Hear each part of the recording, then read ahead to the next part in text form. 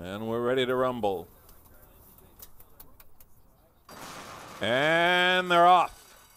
A couple beats slow was Ifrit as they go up the Bladish backstretch and a mad scramble for the lead, as you might expect in a sprint. And going out there for the lead is for all the glory, a narrow lead, and pushing it to that one's inside is smooth sailing as they take it to the turn. Laying up there in third is a public secret. Then it's a break of a length and a half. On the outside to Venture Capital, up close and personal. In cram quarters is Oak Bluffs. Then it's another space of a length and a half back to exchange the limit as they take it on the turn. Well done is in cram quarters. And beginning to make up for lost time is Ifrit. So they're up for grabs. It's coming for home. Anybody's race on the outside. Now making a run for the lead. Here comes Venture Capital joining the leaders. Four of them though to the inside, still fighting it out.